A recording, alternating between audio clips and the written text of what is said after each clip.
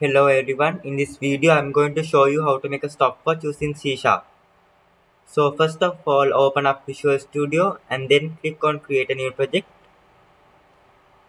Then click on Windows Forms app, make sure it's C Sharp. I'm going to name my project as stopwatch. And then click on create. So this will be the place where we will design our project and then open your toolbox. So we are going to need three labels for, for our project. Search for a label and drag and drop it on your form so I'm going to copy and paste two labels. So these are my three labels for project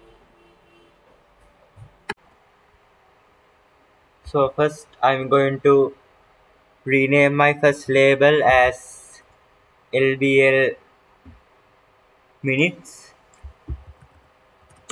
and my second label as LBL sec seconds.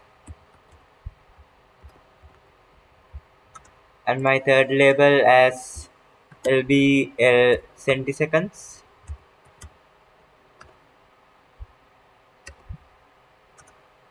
so then I'm going to change the text property of my first label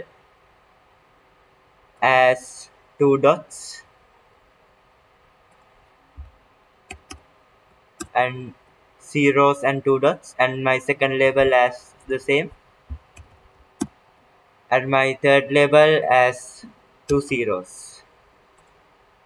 Then change the font of your label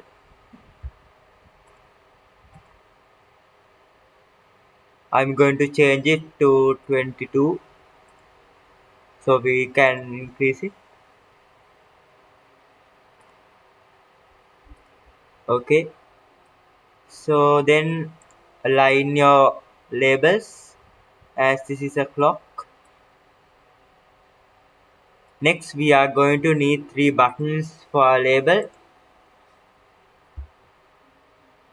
So search for a button copy and paste two more to the form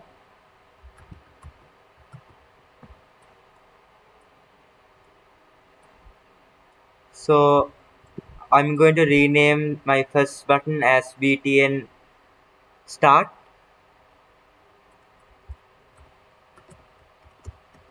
And my second button as BTN stop.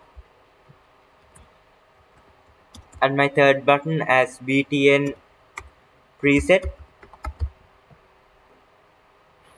and ch then change the text property of your button to your first button as start and the second as stop and the third button as preset. So then increase the size of your buttons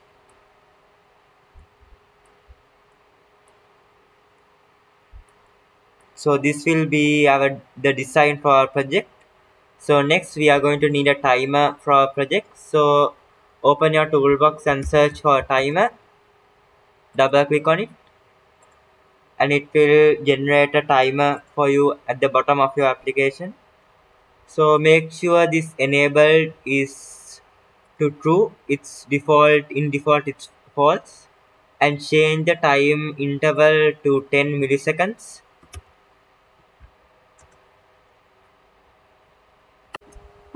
so then we are going to write the code for our application. So double click on your form and it will up, open up your code for you. So next i'm going to write three variables as integer int one for our centiseconds time cs next as time sec for seconds and then time min for minutes so then go back to your design and double click on your start button. So next in our code i'm going to write a boolean expression. So when this bool type is true we want our timer to start. And it and if it is false the timer will stop. So then I'm going to write as bool is active and then when we click on our start button we want the timer to start. So if we want our timer to start we need to make sure bool is active. So I'm going to write is active equals true. So next go and click on your stop button. So when we stop we must make sure bool is false so our timer will stop. So I'm going to write as is active equals false. So then I'm going to write our code for preset button. So when we reset our timer we need to make sure is active is false. So our timer will be resetted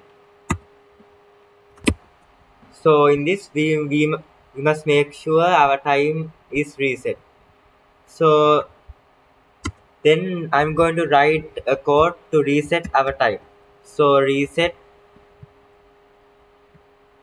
time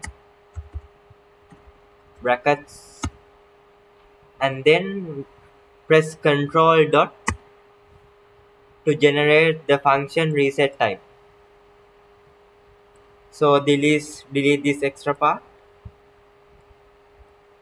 So then I'm going to make sure our, our variables time.cs, timesec and time in is equal to 0. Time.cs equals 0. Time dot min equals to 0 and time dot time sec is also equal to 0 so we must also enable the reset time function in our form because when we start our application it must be also equal to 0 so I'm going to write as reset time the reset time function and brackets and comma. So next I'm going to make sure our is active is false when our when our form starts. So write is active. Equals to false so when we start our application it will be also zero.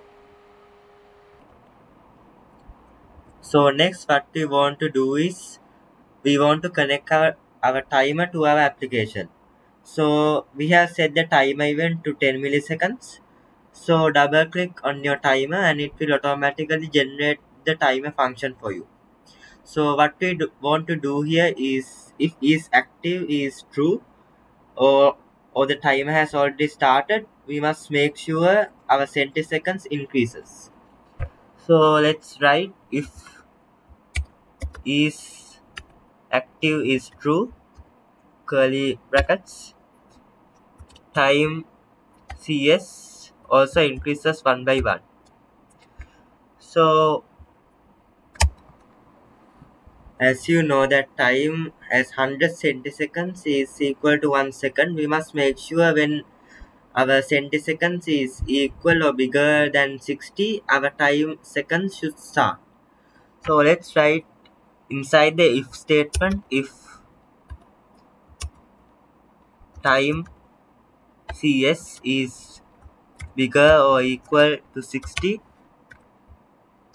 curly brackets. Time min. Sorry to this time seconds. Should increase one by one. And time centiseconds should be back to zero. As it as the timer should be started again so we must write a code in here when time seconds is 10 time seconds is bigger or equal to 0 60 we must increase time minutes. So if time seconds is bigger or equal than 60 curly brackets time min time min should increase one by one. And time sec should be back to zero. Next what we have to do is we have to draw our time on our three labels. So let's write the function draw time. So write draw time brackets semicolon and hit control dot to generate and draw time function. So this will be our draw time function which will be generated automatically. So delete this extra part. And let's write the code for label centiseconds. So label ct dot text equals so we are going to format this as a string according to the time. String string dot format.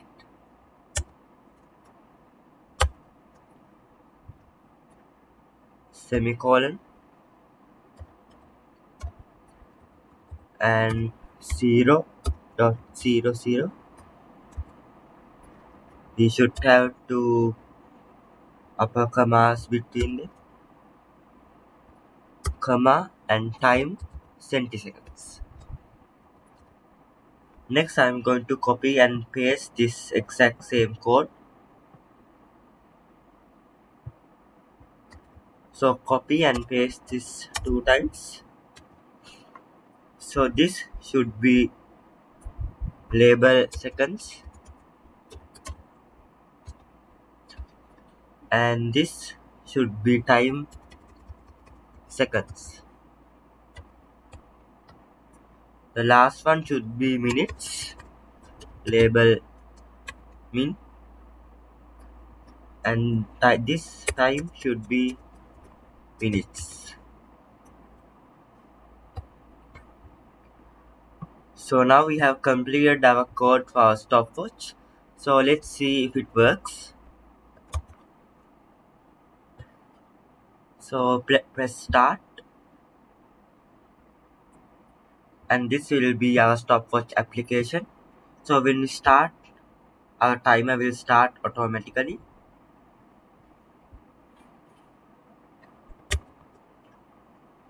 And when we press the stop button the our timer our stopwatch will stop. And if you need to preset it just press the preset button so that's it for the video. I hope you enjoyed it. So make sure you like and subscribe my channel and i see you in my next video